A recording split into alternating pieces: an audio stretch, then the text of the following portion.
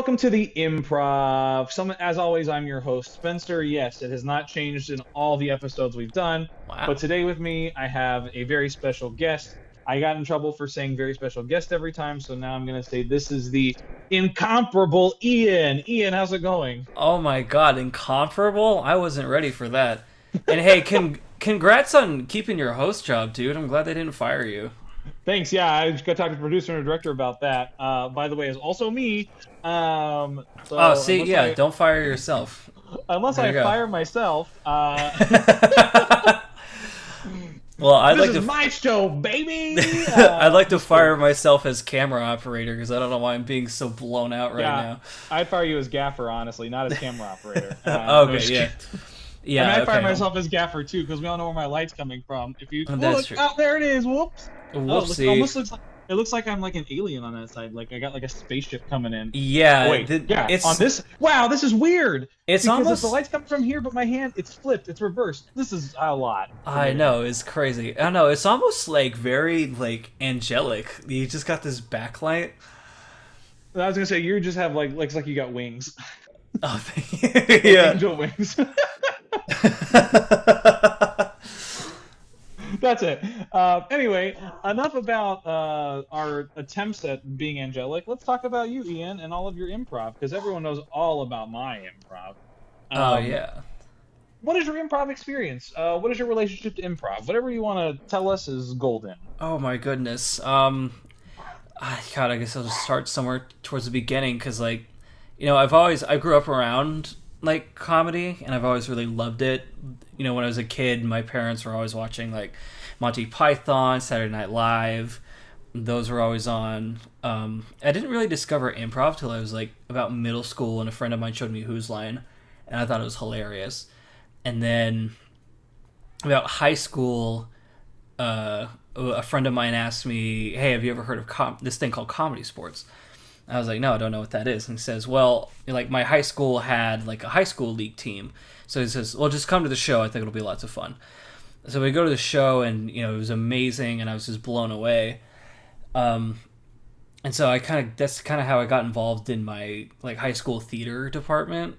It was so I could do improv because you know I always enjoyed comedy and making people laugh, and that improv is great because like you know you don't really prepare you don't just sit down like write anything and i was an incredibly lazy student and so which transitioned to a lazy adult and i still don't like preparing for things so improv is a real sweet spot for me where you can just go in and you know be present with others and uh, create something wonderful just in the moment especially when you have an audience because then you and all those people leave with like your own inside jokes right? It's that show's never going to happen again. And so god i guess i yeah i to back up a bit i guess i joined my high school league team in houston i was a sophomore in high school so that would have been about 2011 so yeah i've been doing uh i've been doing improv for about 10 years now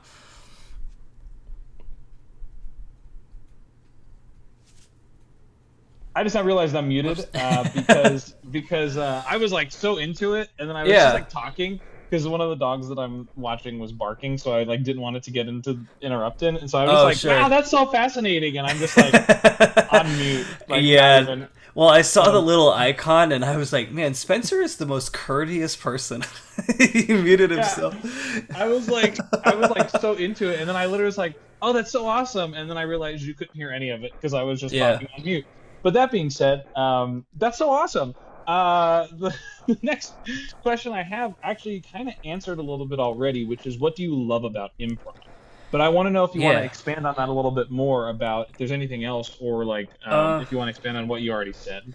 Oh man, what do I love about it? Yeah, I guess it's just like the or it's when it's just so organic and when like everybody's participating like right there cuz like you know, I guess like the three big like genres I guess of like performing comedy are like you know improv, you have sketch and you have stand up. And I think improv is the only one where the audience is like is like innately on your side, right? Because like with sketch, I mean, you kind of have to earn it, but with stand up, like you really have to earn it because it's just you up there. With improv, you have your team, and then you know the whole crowd's there, and you're getting suggestions from them. so like they're part of the show too and so like they're sitting right there with you and uh i don't know i just think that that's kind of what makes it so great that it kind of becomes this you know community thing really the whole room is involved from start to finish and so all of you get to create these beautiful wacky ridiculous hmm. moments together because you know someone in the audience said you know cabbage i don't what that's not a great audience suggestion off the top of my head Every suggestion is great. I mean, not every suggestion, but cabbage Yeah. is a great suggestion in comparison to something. Sure, absolutely. I'm. I, I don't know. I've never been a fan of when audience members just shout out like cabbage or like pineapple. Like, Oh, pineapple's the worst. Or I- or my my least favorite is improv. Yeah, oh yeah, like hilarious. How very meta. I remember um, because when I started doing comedy sports in Houston, they had like retired suggestions. Comedy Sports Houston did. It was Elvis, Jello, and Tutu. So if you ever shouted one of those out, they were like, "That's one of our retired suggestions. We're not going to use it." But then I guess yeah, when I first started doing high school league, Skyrim had just come out, and we got Skyrim every single show. And so the referees just started retiring Skyrim for like high school oh, league shows because everybody's suggestion was like Skyrim related. That's so funny because that that didn't last very long. That suggestion. Not Yeah. a few months. yeah, like for yeah, like from November 2011 till about like March 2012. That was like the hot spot for Skyrim suggestions. After that, it was just tacky. I've never even played it. I don't. I couldn't even tell you the first thing about what happens in Skyrim. But that means it'd be great for me to do an improv scene about because I have no idea what that's about. Uh, there are dragons, and that's uh, I don't really even all, know. I don't even. yeah, That's really gonna say, I all you need to know. Honestly, there are dragons. like- that's it. Great. So it's like Game of Thrones, the video game. Got it. Great. Pretty much. Awesome. Uh, I don't know. I've never seen. I've never seen Game of Thrones either. I'm probably about to lose some. Oh wow! but oh well. I watch. well. Okay, I watched three. This is true. I watched three seasons of Game of Thrones before I realized I wasn't into it. Yeah, I did that. I did that with a show. Like I watched the whole steer. I mean, it's a one. It was a one season show, and maybe that's why I was just like, I don't really like this, but there's only like 12 episodes, so I guess I'll just watch it. yeah, mine as well. It's only like twelve hours. Eh, because it's like The Simpsons. Like, I mean, there are some really oh great my episodes. god! Yeah. and I, I had Disney Plus for free for a year with the Verizon subscription, and so like I really enjoyed watching it. But like after like 13 seasons, I was like, there's still 20 more seasons to go. Yeah. Oh gosh, how many episodes are there? Yeah, there, there- I mean, there are some shows like that, like Always Sunny in Philadelphia. I've like I never got into because by the time it kind of like popped up on my radar, so like maybe I should sit down and watch this. There was just so much that I just felt overwhelmed.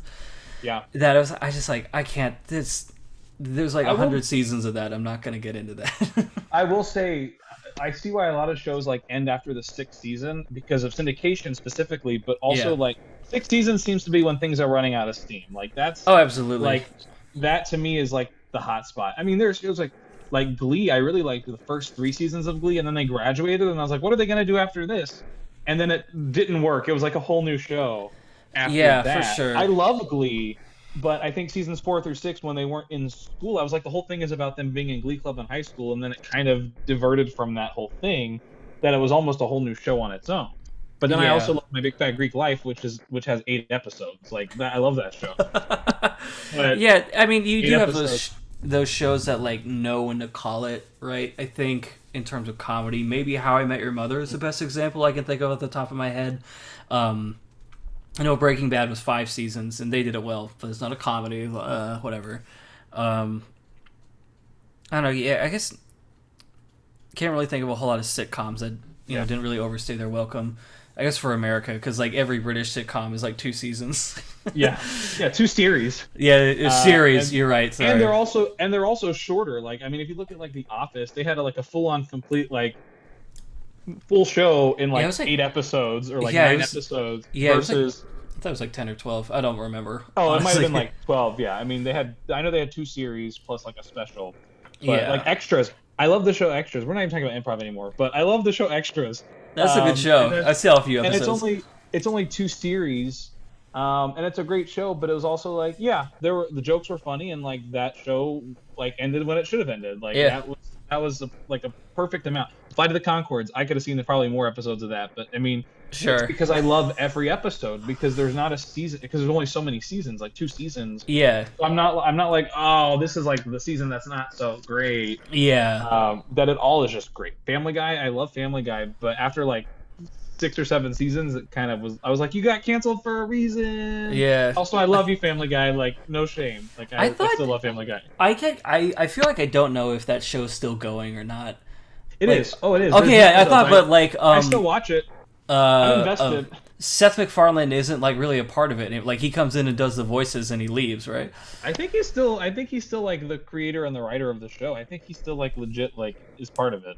Okay, I thought he was like, yeah, still credit as a creator. I didn't know if he was like how heavily involved he was in the process of like making it though. I think he. I think he's like. I think he's like running the show there. Oh, okay, yeah. I don't know, cause like it was a few years ago, and a friend of mine told me, "Have you seen the new?" He asked me, "Have you seen the new Family Guy?" And I I thought he was joking, because I really thought that show was like off. I thought they stopped making new episodes of it. I think it was canceled. I think it was canceled twice, maybe. Maybe Wow. I know for sure once it was canceled and then brought back, and I think it. But also, American Idol's been canceled twice and has come back. So I mean, I didn't know that it had been canceled twice. Wow.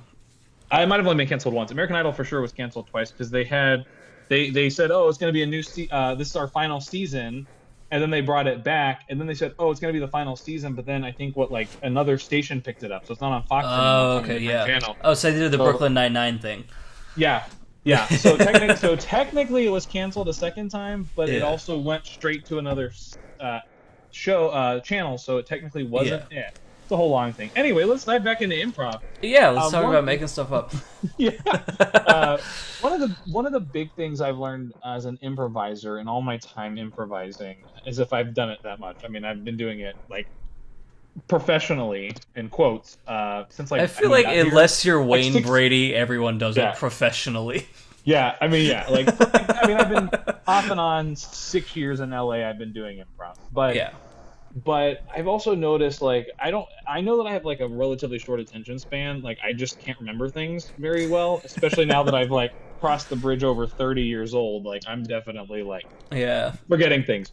But um, not as much as not as much as my bones like want to pop every single time I move anything. Oh, I feel you. Like My, I the, literally when I turned 30, the week I turned 30, I threw out my back. I like sat on my tailbone funny and it was bruised for like a week and like my knees Oh, just no. constantly like popped whenever I moved and like I like like I like twisted my ankle or something like all in the first week. And I was like this Oh is my goodness. yeah, my it, my knees started making explosion sounds when I was like 19. Oh, and I'm geez. 25 now. I know that's hard to believe. I am 25, but my knees like the So sound young. of my knees, it's like it sounds like I saw the dinosaurs die, you know? Yeah, but you're also a quarter of a century, so what do you Yeah. know? What is that's time pretty- anymore? Um, I got to spend my whole 30th in quarantine, so that was really exciting. Oh no! Uh, Oh, such yeah. a milestone. Yeah, I did 24 and 25 in quarantine. Oh yeah, I just I I got 30 in January, so I just missed the first go around. Okay, yeah. But uh, if, I, if there's a second go around, I'm gonna celebrate my 30th next year.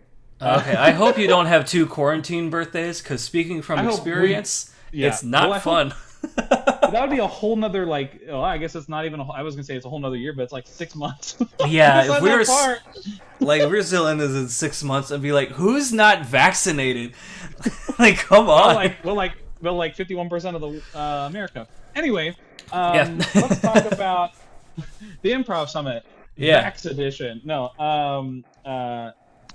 One of the things that I've learned, uh, see, I already forgot because of short attention span, like I said, um, is that when I do scenes, especially when I do like long form, like Heralds, where you have to bring characters back, Mhm. and I have to be brought back as a character, I forget who I was like two minutes ago. I'm like, wait, who who was I in this scene? Remind me of what my what my thing is, what my job is.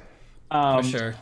So 99.9% of the time i just forget everything i do in improv. But there are occasions where i remember something because it was a big aha moment for me whether as a teacher as a coach as a performer as an audience member.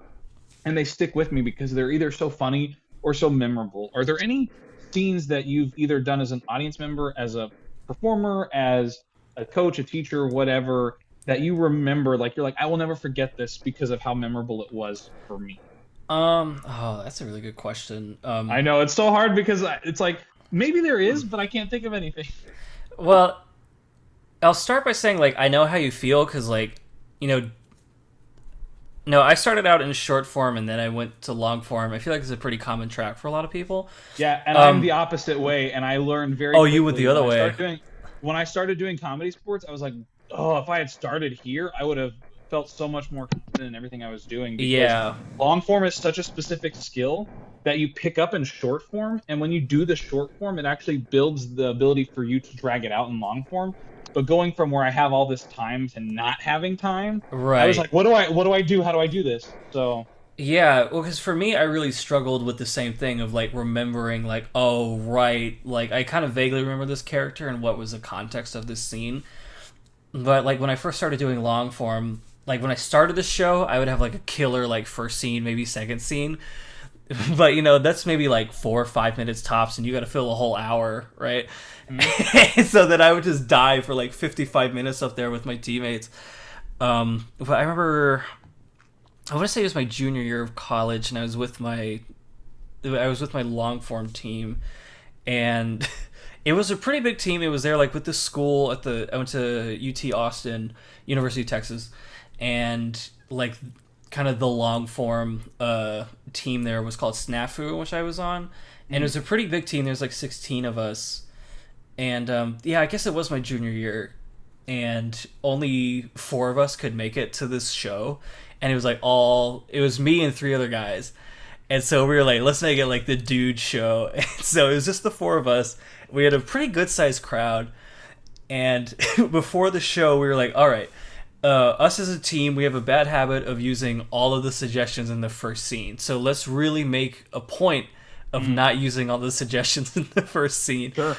and we got oh what were our suggestions it was like i think it was like a school potato and like prison i want to say was our suggestions I can see that scene happening um, And- easily. I just I just pieced it together. oh yeah i think it was teacher and so it was, it was teacher potato and prison i Yeah, think those easy. were our three Cool. suggestions But yeah, and literally easy. and, yeah literally the first line the first line of the show my friend nick goes out there he goes all right class welcome to uh, potato whittling class in in this prison that we're in like all three right away Uh huh. and you know so we just kind of had to roll with it but it ended up being like a fantastic show um and i think part of it was because like you know when you're in a good mood and everybody shows up just kind of like good in a good mood because we always had our shows on friday nights and especially in college everyone's happy on friday night and I guess because there was only four of us, like there's nowhere to hide, right? Like you kind of have to go out there. You don't have like the safety of numbers. And it ended up being like a really, really great show, and we had so much fun. We got a ton of laughs. Um, it started at this like, you know, prisoners making sculptures out of potatoes, and it kind of ended with us like, uh, I think we were making fun of uh, Trump running for office at the time because at that time it was still a joke that he would be president. Uh, and I, I really wish I could remember the whole arc, but like we, ex- I guess my, this is a long-winded way of saying like we made a note of not doing something, and that was the first thing we did, Yeah. and we still ended up having a phenomenal show, and the crowd was into it, and it was just it was just such a great time, you know. Um, That's awesome. I know. Have you ever had a show where like you kind of black out? Like once you finish, you like kind of don't remember what you just did. Oh, like every show. Okay, but like I those mean, really I- good ones, you know. I I honestly I I don't think I could ever tell you a show where I remember everything that happened in a show. I could possibly pull like a scene or like a line or like a but like I remember one time I crossed from stage left to stage right and I got a laugh. I don't know what I did, but I did like, like awesome. like I can get like real specific like that about things, but I could not remember. Like sometimes I'll be like, I know I walked from left to right and there was a laugh, so I don't know what happened, but I just remember that. Like- yeah. Well, when I did, um, it's hard. It's hard with Harold because if you're the character that they bring back, I'm like, wait a second. yeah, you're like, what was funny second about this? Yeah. I was like, this is the second beat. I was the character. What was my thing? What did I do? Yeah, Who was what's I? my thing? Who are How you? do I- What's happening? how do I respond heighten- this? yeah, how do I heighten this? Yeah, I, remember I did a show. Um, is Comedy Sports Austin had restarted my senior year of college, and we had this one show, and we sat down to do notes afterwards. And every time people were like, "Oh, do you remember this thing?" I was like, "I honestly don't remember that scene at all." Like once we were done, I just Oh, yeah. forgot the whole show. Oh yeah, it's getting notes after an improv show. It's like, so when you did this thing, I'm like, did I do that? Yeah, yeah. Yeah. I remember. I'm like, I, you know, you remember. I, I was like, I don't. honestly don't. Like, but okay, noted. I got it. I'll fix it Yeah. time, even though I have no idea. Um, anyway, uh, do you have any plugs or pitches or anything you want to like throw out? Um, I guess right now, uh, I, you know, we're not performing live yet. Um, I know Chad Shapiro has been a guest on this show, so I I perform comedy in Comedy Frenzy with him. Uh, so I do that. I also have my own podcast. It's about uh, it's called Baseball is Dumb. It's all about the history of baseball, but not really like how the rules got started. I just kind of like to find uh, just kind of wacky stories, really.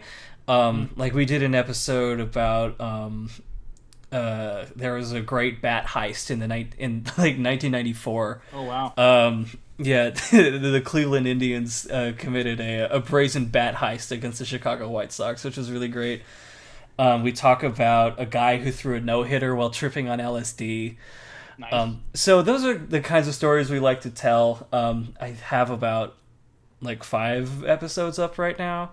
Um, so if that's uh, something that you or the audience would be into, check. It's on Spotify if you want to check it out. It's on Apple Podcasts. I think we're on Pocket Casts and um, another platform. I don't remember. nice. It'll be linked, it'll be linked down in the YouTube. But I have a question for you. yes, sir. Uh, Fever Pitch with Jimmy, the remake with Jimmy Fallon and Drew Barrymore. Yes or no? Fever Pitch remake, but with. Drew. Yeah. Well, no, no, it- it's a real movie. But I'm asking, is Yeah. it yes or no? Yeah, I, I'm down. I'm in. Yeah, I love it. I think it's actually. I didn't like it the first time I watched it. I watched it again like two weeks ago. I actually liked it. I finally Um, saw the original Mad Max for the first time last night. Really glad they made more of them. Um, I I saw Mad Max Fury Road, and that's all I will say about that. Let's move on. Um, uh, I saw it. Um, so Ian, thanks so much for joining me here on Yeah, thanks for having me. Improv Summit. And hey. I have one final question for you, Yeah. which is why the Improv Summit exists. Um, I always have a lot of people pre-pandemic, but even during pandemic, saying, "Spencer, you do a lot of improv. Where should I take improv?" And I have a hard time answering that question because it's such a vast amount of information Yeah. to give to someone for a question that honestly feels quite vague. Um, but if someone asked you that question, if they said, "Ian, where should I take improv?" What would be one piece of advice or one tidbit that you would give them to help guide them on their improv journey? Um, really, I don't think you can, you can really go wrong, in my opinion. Um, anywhere from like I don't know, maybe one of the more established theaters like like Second City or you know, Comedy Sports, even to just like your local like spot. Um, I think is a great place to start. Um, honestly, if you have like a smaller local theater, classes might be cheaper than somewhere like I got here in LA where you know at UCB classes are like four hundred dollars for a 101 class. And um i mean it's lots of fun. So honestly anywhere you can get in is a great place to start because improv is really all about just being present and like you know being vulnerable and sharing with your teammates and you know creating you know creating that scene in that moment with the people around you so you don't really need you know the banner of like you know second city or groundlings or whatever um, even though those names are prestigious and i'm not trying to knock those theaters um, Right. you know obviously they have a great list of alumni but you know i don't think there's a wrong way to do it which is Yeah. uh, kind of like improv in a way Hey, what do you know? It all comes back. brought it all back baby Bring it all back. I don't even know that. It's an S Club Seven song. Are you were you around when that song was around? um, I was not around when most songs were around. Actually, I once had a. No. and so I work at a bar, and I was singing along to um, "Everybody's Working for the Weekend" by Loverboy, and a cus- Everybody's working for the, weekend. yeah, and a customer got mad at me. She was, she says to me, "You're too young to know this song." What? yeah, My parents, my parents played me all their music growing up, and then more songs came out, and then like when it hit like 2000 and when I got to like my master's degree, I was like, okay, I'm done listening to music now because it all Yeah, like honestly, I feel like the more music I like, I go backwards. Like I've, it, like I've listened to like all of Led Zeppelin's discography, but now I'm going to like Albert King and Ch- uh, Chuck Berry and um, uh, Little Richard. yeah. They're like, oh, did you hear you. the new uh, like Olivia Rodrigo? I'm like, oh no, but I listened to this album Chuck Berry put out in 1954. There's also the. the Wanna hear that? It's like uh, the chicken wing, chicken wing, hot dog and bologna. yeah. what is this? Yeah, there's a time, especially um like like really But early hip hop and rap that's just like ridiculous, Oh, and you just can't help but hip-hop. love it. You could get with this, or you could get with that. that. You could Like- get with this, uh, this is where it's at. Uh, Or like if you listen who's like the black chick? What's the black chick? yeah, or like compared to like like if you listen to Kendrick Lamar like now, and then compare are the it and then compare it with like Rapper's Delight, like the first like big like rap song. It's like how did hip hop even become a thing? Because this is ridiculous from a guy going motel, hotel, holiday inn, and everyone was like, "This Yeah. is awesome." Yeah, but it's also like you can see you can see how it transitions because the music, like the hip hop, is very like hip hop and to hip- the beat, and yeah. everything is very on on the beat. Yeah, but then like you get to like hip hop now, and it's like da da da da da da da. It's like kind of like Yeah.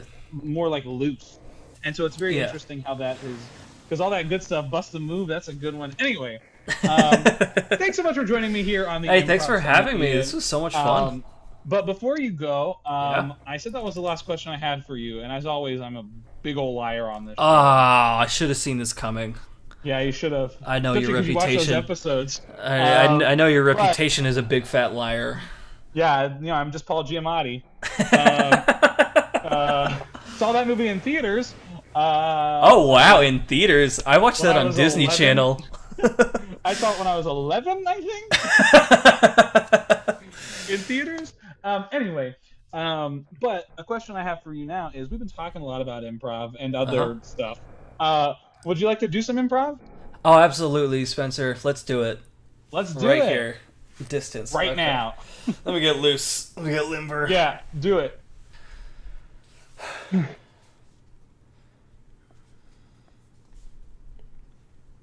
Ted, Ah, Ted, what? Mike, it's Mike. Mike! Oh my god, Mike, how are you? How have you been? Oh my god, it's been what? Six years. Six years. Yeah. Oh how's uh, uh how's how's Teresa?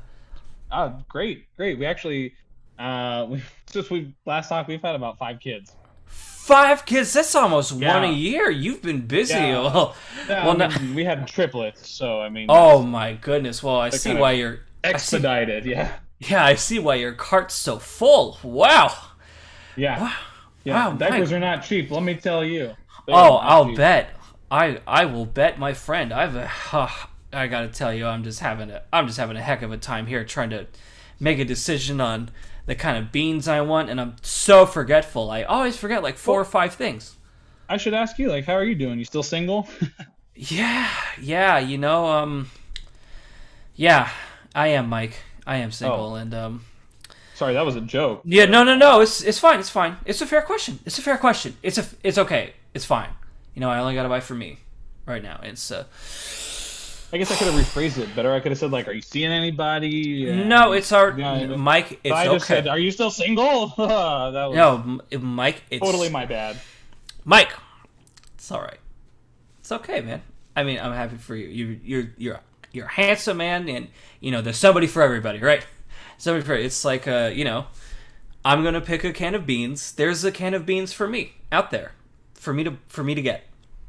Yeah, speaking of, I just I just need to like grab a couple of uh, cannellini beans. Um, you don't Yeah. Oh, I'm sorry. Let me get out of your way. It's okay. Yeah, no, it's all good. It's all no worries. No, hey, let's let's keep chatting. Let's keep Yeah, chatting. I yeah, just need to grab the the cannellinis. Yeah, sure, sure, sure. So, um, like, uh, wow, does that uh, those cans really feed everybody in the house? I mean, you got, Yeah, you got I mean, some hungry yeah. mouths in there. well, the kids, the kids, they're babies. They don't eat beans yet. They're they're still on baby food. Which I got Ah. a bunch of that down in the bottom. Yeah, Yeah, this- with a little Gatorade. I'll, I'll bet they're picky. I'll bet they're they're real picky about that. Uh, wow. So yeah, can cannellini. Uh, What about you? What about you? You still living out of your mom's garage? Or... Uh, you know, I uh, I am, I am, Mike. I sure Oh. am. But uh, look, I'm able to pay for my own groceries now. Sorry, that was a bit of a joke. I just I. Thought Yeah, no, Mike, it's fine. Mike, it's Sorry. fine. Really, it's okay because I pay for my own groceries, and you know what? I even I even chip in a, on the internet bill. Okay, I can provide for myself. I am an I adult. just- It was a joke. I, I apologize. A Yeah, no, it's out of line. fine. It's just- fine. I'm. It's fine, Mike. It's fine. I'm single and I live out of my mom's garage, but you know what? I'm happy. Great. That's that's good. That's good. Yeah.